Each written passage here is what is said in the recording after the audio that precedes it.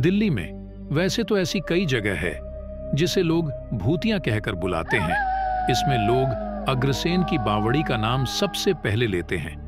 लेकिन आज हम आपको किसी ऐसी जगह के बारे में बताने वाले हैं, जिसके बारे में आप शायद ही जानते होंगे। हो सकता है कि आप वहाँ कभी न कभी गए हो, लेकिन उसके पीछे की कहानी आपको ना पता हो। आज की इस वीडियो में हम आपको उस भूतिया जगह के बारे में बताएँगे जहाँ पर डर का एहसास होने लगता है। फिरोज शाह कोटला किला दिल्ली की सबसे पुरानी संरचनाओं में से एक। फिरोज शाह कोटला किला तेरह में सुल्तान फिरोज शाह तुगलक द्वारा बनाया गया था। ऐतिहासिक स्रोतों के अनुसार इस किले का निर्माण तब किया गया था जब शासक ने पानी की कमी के कारण अपनी राजधानी को तुगलकाबाद से फिरोजाबाद स्थानांतरित करने का निर्णय लिया था। इस उद्देश्य की पूर्ति के लिए किला पवित्र यमुना नदी के तट पर बनाया गया था। किले के परिसर में कुछ शानदार बगीचे, मस्जिद, महल आदि हैं। किले के प्रवेश द्वार पर शासक के नाम वाला एक विशाल लोहे का द्वार है और किले की दीवारों की सीमा पंद्रह मीटर तक ऊँची है। फिरोज शाह तुगलक को शिकार, सिंचाई और वास्तुकला में काफ़ी रुचि थी।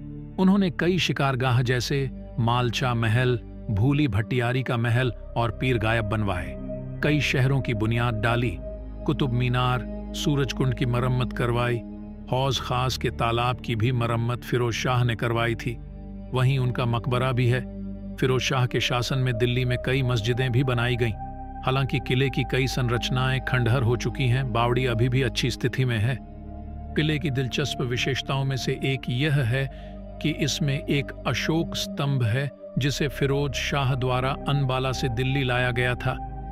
इस अशोक स्तंभ के कारण इस किले की भव्यता बढ़ जाती है। इस तीन मंजिला इमारत का निर्माण फिरोज शाह तुगलक ने अशोक स्तंभ को स्थापित करने के लिए बनवाया था। मूल रूप से इस स्तंभ की स्थापना महान सम्राट मौर्य अशोक ने करवाई थी। यह तेरह मीटर ऊँचा है और इसमें अशोक के सिद्धांतों के शिलालेख हैं। वर्तमान समय में भी इस किले के अंदर सीक्रेट कोड में अवशेष मिले हैं। जिसमें किले के गुप्त राज को लिखा गया है, लेकिन इन्हें कोई समझ नहीं पाया है। इसमें किले की कोई मुख्य जानकारी को लिखा गया है। जिस समय इस किले का निर्माण किया गया था, उस समय यह भव्य रूप में दिखता था। आज इस खूबसूरत किले के बहुत सारे हिस्सों को प्रकृति ने अपनी गोद में समा लिया। बाकी के हिस्सों को हमारे जैसे लोगों ने खंडहर में बदल दिया। उन्हीं खंडहर हिस्सों में किले में जाने से डर लगता है। किले में घनघोर अंधेरा रहता है और किले के कई हिस्से अजीब से डर का एहसास कराते हैं। खुफिया रास्ते थे, उनको हमेशा के लिए बंद कर दिया गया है। लोहे की मोटी मोटी सलाखों से किले के रास्तों व तहखानों को बंद कर दिया गया। प्राचीन काल के बहुत सारे तहखाने अकल्पनीय राज को समेटे हुए, जो आज भी किले में हमेशा के लिए बंद है। उन्हीं प्राचीन काल के इतिहास को देखने के लिए हमें आज भी इंतज़ार है।